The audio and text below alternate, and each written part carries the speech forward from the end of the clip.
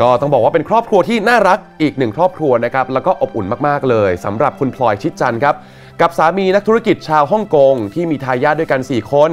น้องชิโน่น้องชิลลี่ น้องชิต้า แล้วก็น้องชิลีนครับโดยสาวพลอยเนี่ยมักอัปเดตความน่ารักให้แฟนๆได้เห็นอยู่เสมอเลยทีเดียว ล่าสุดครับลูกชายทั้งสองคนอย่างน้องชิโน่แล้วก็น้องชิต้าได้บวชเนนเป็นเวลา 9 วัน โดยแม่พลอยเผยว่าช่วงหยุดยาวนะครับก็เลยให้ลูกบวช ซึ่งมีแม่ๆที่รู้จักกันชวนลูกๆแต่ละบ้านไปบวชครับ ซึ่งลูกแม่พลอยเองก็โอเคกับการบวชครั้งนี้ก็เลยหาเลิกบวชเลยครับ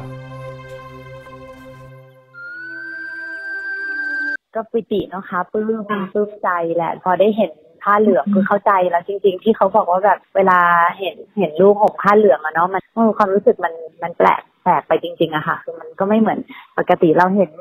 ท่านพระพุทธเจ้าเห็นพระใส่ผ้าเหลืองแต่พอเป็นลูกเราเองอะมันก็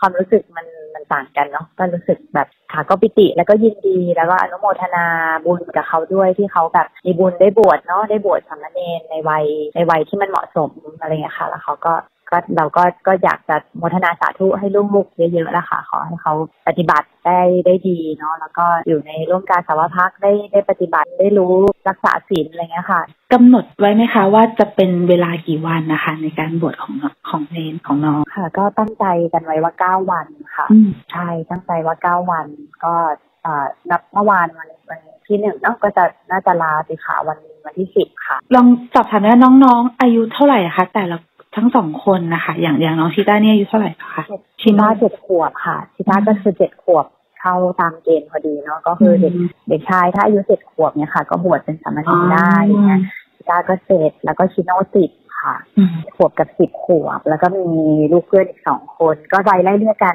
เจ็ดขวบกับเก้าขวบค่ะ ได้ค่ะ ขอบคุณมากเลยนะคะน้องพลอย ค่ะให้สาธุอนุโมทนากับทุกคนด้วยนะคะ